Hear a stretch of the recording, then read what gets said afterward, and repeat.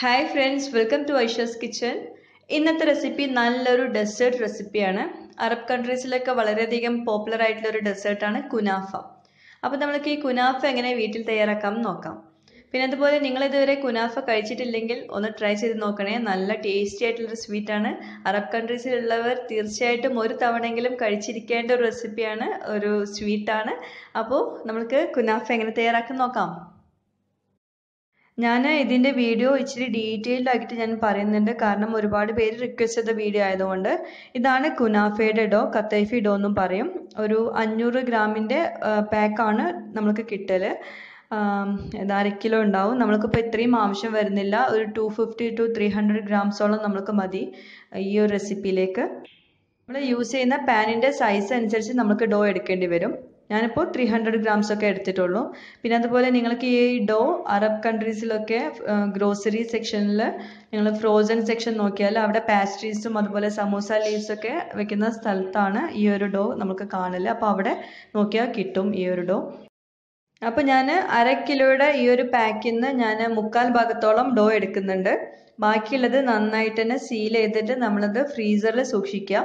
പിന്നെ അതുപോലെ നിങ്ങൾ ഇത് യൂസ് ചെയ്യുന്നതിന്റെ ഒരു ഒരു മണിക്കൂർ മുന്നേക്ക് ഈ ഡോ പുറത്ത് വെക്കണം. എന്നാലേ നമുക്കത് റൂം ടെമ്പറേച്ചറിലായി കിട്ടുള്ളൂ. അപ്പോഴേ നമുക്കിത് റെസിപ്പിയിലേക്ക് ആഡ് ചെയ്യാൻ പറ്റുള്ളൂ. ആദ്യം നമ്മൾക്ക് ഈ ഡോ ഒന്ന് സെപ്പറേറ്റ് ചെയ്തെടുക്കാൻ വേണ്ടിയിട്ട് നമ്മൾ കുറേശ്ശെ കുറേശ്ശെ ആയിട്ട് ബ്ലെൻഡറിലേക്ക് ആഡ് ചെയ്ത് കൊടുത്തിട്ട് ചെറുതായിട്ടൊന്ന് ക്രഷ് ചെയ്തെടുക്കാം. അപ്പോൾ ഈ ഒരു പരുവത്തിലാണ് നമുക്ക് വേണ്ടത്. അപ്പോൾ ഇതുപോലെ ബാക്കി എല്ലാ ഡോയും നമ്മൾക്ക് ഇതുപോലെ സെപ്പറേറ്റ് ചെയ്തെടുക്കാം. കൈകൊണ്ട് നിങ്ങൾക്ക് ഇതുപോലെ ചെയ്യാം. പക്ഷെ ഒത്തിരി ടൈം എടുക്കും നമ്മൾ കൈകൊണ്ട് ചെയ്തെടുക്കുമ്പോൾ. അപ്പോൾ ഇതുപോലെയാണെങ്കിൽ പെട്ടെന്ന് നമുക്ക് റെഡിയായി കിട്ടും. അപ്പോൾ നമ്മളുടെ കുനാഫയുടെ ഡോ നന്നായിട്ട് സെപ്പറേറ്റ് ചെയ്തെടുത്തിട്ടുണ്ട്. ഇനി നമുക്കിതിലേക്ക് ബട്ടർ മെൽട്ടാക്കിയത് ചേർത്ത് കൊടുക്കണം.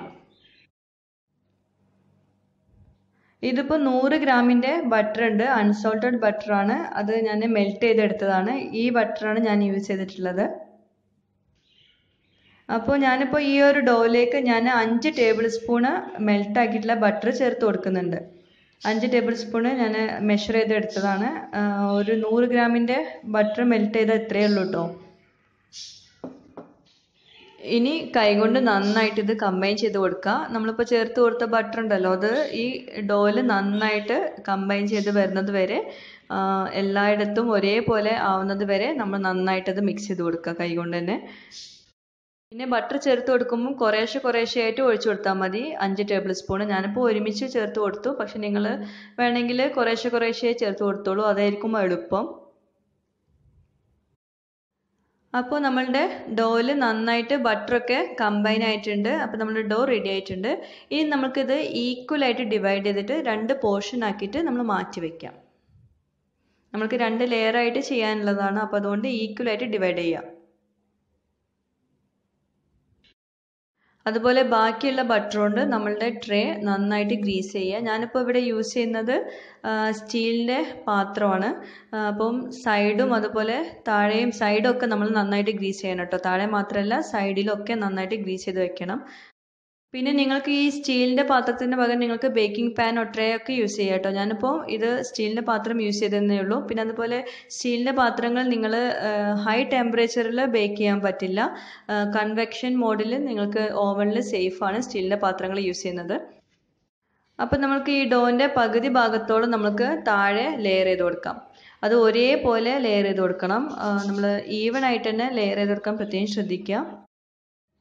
അപ്പോൾ നമ്മളുടെ താഴത്തെ ബേസ് നമ്മൾ നന്നായിട്ട് ലെയർ ചെയ്തിട്ടുണ്ട്. ഇനി ഇതുപോലെ നമ്മൾ നന്നായിട്ട് കൈകൊണ്ട് പ്രസ് ചെയ്തിട്ട് സൈഡൊക്കെ നന്നായിട്ട് പ്രസ് ചെയ്ത് കൊടുക്കുക എന്നാലേ അത് നന്നായിട്ട് ഒരേപോലെ നമ്മൾക്ക് അത് സെറ്റായി കിട്ടുള്ളൂ. അപ്പോൾ അതുകൊണ്ട് ഇതുപോലെ കൈകൊണ്ട് നന്നായിട്ട് പ്രസ് ചെയ്ത് കൊടുക്കാം. സൈഡ്സിലേക്കും ഞാൻ ഇതുപോലെ ചെയ്തു കൊടുക്കുന്നുണ്ട്. കാരണം ഡോ ഒരുപാടുണ്ട്. അപ്പോൾ അതുകൊണ്ട് നമുക്ക് പേടിക്കാനില്ല. തികയാതെ വരുന്നില്ല എന്നാണെങ്കിൽ നിങ്ങൾ സൈഡിലൊന്നും വെക്കേണ്ട കേട്ടോ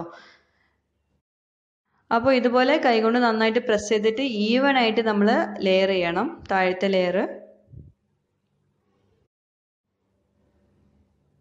അപ്പോൾ സൈഡും ഇതുപോലെ നന്നായിട്ട് പ്രസ് ചെയ്ത് കൊടുക്കുക. എന്നാലേ നല്ല ഈവൻ ആയിട്ട് നമുക്ക് റെഡിയായി കിട്ടുള്ളൂ. അപ്പോൾ നമ്മളുടെ ബേസ് ലെയർ റെഡി ആയിട്ടുണ്ട്. കുനാഫയുടെ ബേസ് ലെയർ റെഡി ആയിട്ടുണ്ട്. അപ്പോൾ നമുക്ക് ഇനി അടുത്തത് നമുക്ക് ചേർത്ത് കൊടുക്കാനുള്ള ചീസിന്റെ ലെയറാണ് അപ്പോൾ അതെങ്ങനെ തയ്യാറാക്കിയിട്ട് വേണം നമുക്കിത് ചേർത്ത് കൊടുക്കാൻ. അപ്പോൾ അതുവരെ ഇതവിടെ ഇരിക്കട്ടെ. അപ്പോൾ ചീസിന്റെ ലെയറിലേക്ക് നമ്മൾക്കിപ്പോൾ ഒരു കപ്പ് പാൽ വേണം. പിന്നെ ഞാനിതിലേക്ക് മൂന്ന് ടേബിൾ സ്പൂൺ പഞ്ചസാര എടുത്തിട്ടുണ്ട്. മൂന്നോ നാലോ ടേബിൾ സ്പൂൺ എടുക്കാം. ഞാൻ മൂന്ന് ടേബിൾ സ്പൂൺ എടുത്തിട്ടുള്ളൂ. പിന്നെ നമ്മൾക്കിതിലേക്ക് മൊസറില്ല ചീസ് വേണം. അത് അര കപ്പ് എടുത്തിട്ടുള്ളൂ. പക്ഷേ അത് നിങ്ങൾക്ക് ഓപ്ഷണലാണ് ആവശ്യമുണ്ടെങ്കിൽ മാത്രം ചേർത്ത് കൊടുക്കാം. പിന്നെ ഇതിലേക്ക് വേണ്ട ചീസ് ക്രീം ചീസാണ് ഇതുപോലെ അഞ്ച് ക്യൂബ്സാണ് ഞാൻ എടുത്തിട്ടുള്ളത്. അൽമറയുടെ ക്രീം ചീസാണ് ഇതുപോലെ ക്യൂബായിട്ടാണ് ഞാൻ യൂസ് ചെയ്യുന്നത്. നിങ്ങൾക്ക് വേണമെങ്കിൽ ക്രീം ചീസ് ആയിട്ടുള്ളതും യൂസ് ചെയ്യാം. സ്പ്രെഡബിൾ ചീസൊക്കെ യൂസ് ചെയ്യാം. പിന്നെ ഞാൻ ഇതിലേക്ക് രണ്ട് ടീസ്പൂൺ മൈദയും അതുപോലെ മൂന്ന് ടീസ്പൂൺ കോൺഫ്ലോറും യൂസ് ചെയ്യുന്നുണ്ട്. അത് ഈ ചീസിന്റെ ലെയർ ഒന്ന് കട്ട് ചെയ്യാൻ വേണ്ടിയിട്ടാണ്. പിന്നെ പൗഡേർഡ് പിസ്താച്ചോസ് അത് ഡെക്കറേഷന് വേണ്ടിയിട്ടാണ്. ആൽമണ്ട്സ് ഒക്കെ യൂസ് ചെയ്യുക കേട്ടോ.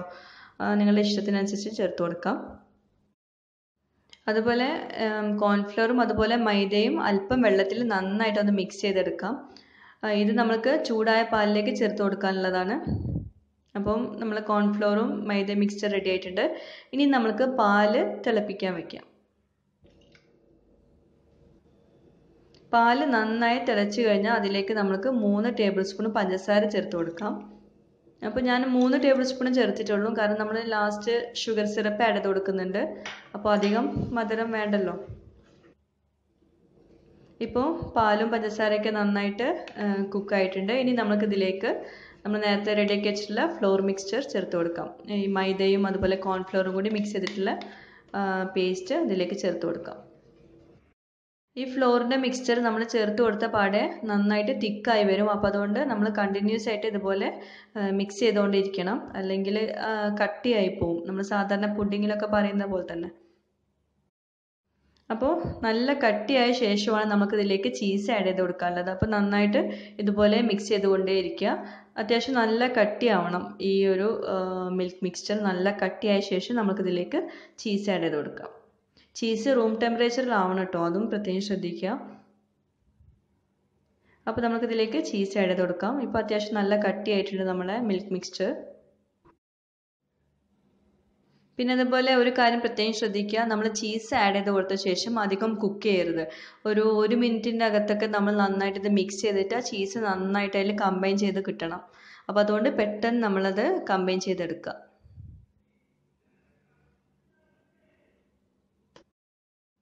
അപ്പോൾ നമ്മളുടെ ചീസിന്റെ മിക്സ്ചർ നന്നായിട്ട് കമ്പൈൻ ചെയ്ത് വന്നിട്ടുണ്ട്. മിൽക്ക് മിക്സ്ചറും എല്ലാം കൂടി നല്ല തിക്കായിട്ട് വന്നിട്ടുണ്ട്.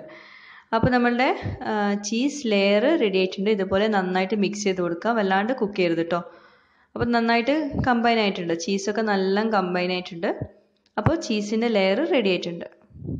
അപ്പോൾ ഇനി നമ്മൾ നേരത്തെ റെഡിയാക്കി വെച്ചിട്ടുള്ള കുനാഫയുടെ ബേസ് ലെയറിന്റെ മുകളിലേക്ക് നമ്മൾക്ക് ചീസ് സ്പ്രെഡ് ചെയ്ത് കൊടുക്കാം. ഞാനിപ്പോൾ ആദ്യം മൊസറില്ല ചീസാണ് സ്പ്രെഡ് ചെയ്ത് കൊടുക്കുന്നത്.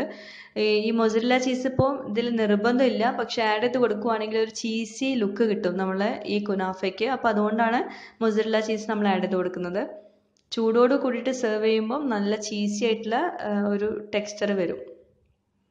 അപ്പോൾ ഇനി ഇതിന്റെ മുകളിലേക്ക് നമുക്ക് ഈ ക്രീം ചീസ് നമ്മളിപ്പോൾ തയ്യാറാക്കിയ ക്രീം ചീസ് ലെയർ ചേർത്ത് കൊടുക്കാം. നന്നായിട്ട് ഈവൺ ആയിട്ട് നമ്മൾ സ്പ്രെഡ് ചെയ്ത് കൊടുക്കുക കേട്ടോ. ഒരേപോലെ എല്ലാ സൈഡിലും ഒരേപോലെ ആവുന്ന രീതിയിൽ നന്നായിട്ട് സ്പ്രെഡ് ചെയ്ത് കൊടുക്കുക ഇനി നമുക്ക് ബാക്കിയുള്ള കുനാഫയുടെ ഡോം കൂടി ഇതിന്റെ മുകളിലേക്ക് ചേർത്തിട്ട് ഇതൊന്ന് കവർ ചെയ്ത് വെക്കാം. അപ്പോൾ ഇതുപോലെ കുറേശ്ശെ കുറേശ്ശെ ആയിട്ട് എടുത്തിട്ട് നന്നായിട്ട് സൈഡ്സ് ഒക്കെ നന്നായിട്ട് കവർ ചെയ്തെടുക്കുക. ഈ ചീസിന്റെ ലെയർ മൊത്തത്തിൽ കവർ ആവുന്ന രീതിയിൽ നമ്മൾ ഈ കുനാഫയുടെ ഡോ ചേർത്ത് കൊടുക്കുക.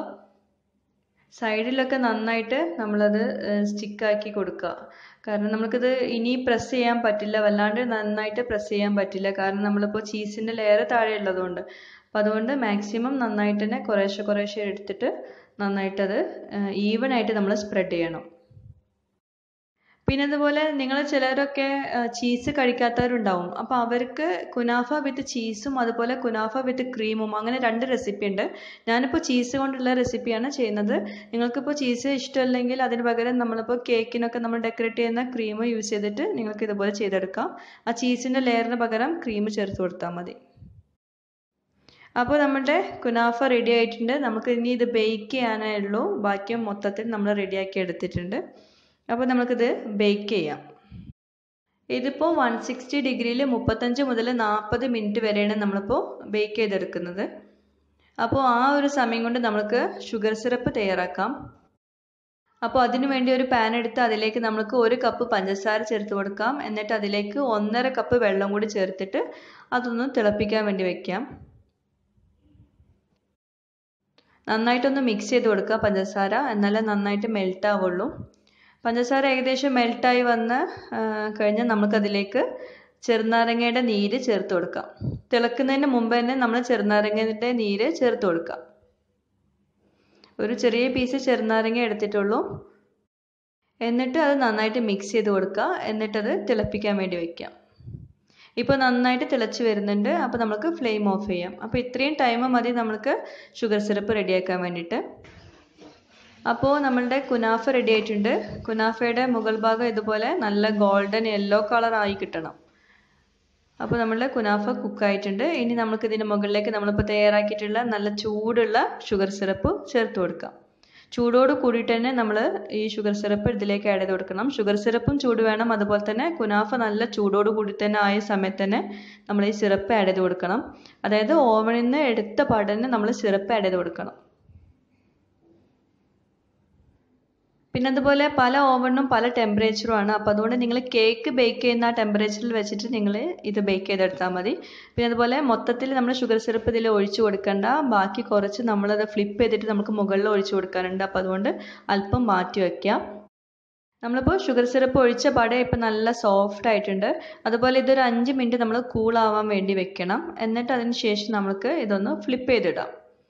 ഇങ്ങനെ ഫ്ലിപ്പ് ചെയ്യണം നിർബന്ധമൊന്നുമില്ല. നമുക്ക് അതിൽ നിന്ന് തന്നെ കട്ട് ചെയ്തെടുക്കാം. കുഴപ്പമൊന്നുമില്ല.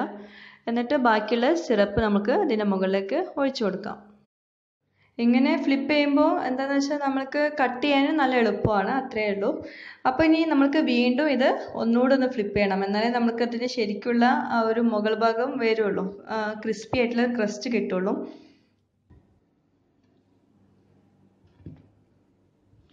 അപ്പോൾ നമ്മുടെ കുനാഫ വിത്ത് ചീസ് റെഡി ആയിട്ടുണ്ട്. നമ്മളിപ്പോൾ ഈ ഒരു ക്യാമറയിൽ കാണുന്ന കളറെല്ലാം നല്ല യെല്ലോയിഷ് കളറാണ് അപ്പോൾ നമുക്കിത് ഡെക്കറേഷന് വേണ്ടിയിട്ട് അല്പം പിസ്ത പൊടിച്ചത് മുകളിൽ ചേർത്ത് കൊടുക്കാം. അപ്പോൾ നല്ല ടേസ്റ്റി ആയിട്ടുള്ള സ്വീറ്റാണ് തീർച്ചയായിട്ടും എല്ലാവരും ട്രൈ ചെയ്ത് നോക്കാം. ഇപ്പോൾ എല്ലാവരും ഡൗട്ട്സൊക്കെ ക്ലിയർ ആയെന്ന് വിചാരിക്കുന്നു. അപ്പോൾ ഇനി നമുക്ക് ഇതൊന്ന് കട്ട് ചെയ്ത് നോക്കാം. ഇതിപ്പോൾ നല്ല ഗ്രീൻ കളറിൽ കിടക്കുന്നത് നമ്മളിപ്പോൾ ഞാൻ അല്പം സ്ലൈസ്ഡ് പിസ്താച്ചോസും കൂടി ആഡ് ചെയ്ത് കൊടുത്തിട്ടുണ്ട്. അതുകൊണ്ടാണ് ഗ്രീൻ കളർ കേട്ടോ അപ്പോൾ നല്ല സോഫ്റ്റ് ആയിട്ടുള്ളതും അതുപോലെ നല്ല ക്രിസ്പി ക്രിസ്റ്റുള്ള നമ്മളെ കുനാഫ വിത്ത് ചീസ് റെഡി ആയിട്ടുണ്ട്.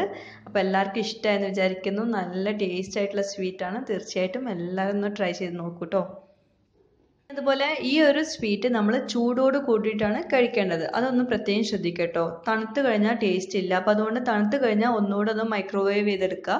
നമ്മളത് ബാക്കിയുണ്ടെങ്കിൽ നമ്മൾ ഫ്രിഡ്ജിൽ വെക്കാം സൂക്ഷിക്കാം. എന്നിട്ട് നമുക്കത് യൂസ് ചെയ്യുന്ന സമയത്ത് അതൊന്ന് ചെറുതായിട്ടൊന്ന് വാം ചെയ്ത് കൊടുത്താൽ മതി. അപ്പോൾ എല്ലാവരും ഒന്ന് ട്രൈ ചെയ്ത് നോക്കുക. നിങ്ങളുടെ ഫീഡ്ബാക്ക്സ് അറിയിക്കുക. സബ്സ്ക്രൈബ് ചെയ്യാത്തവരുണ്ടെങ്കിൽ സബ്സ്ക്രൈബ് ചെയ്യുക. താങ്ക്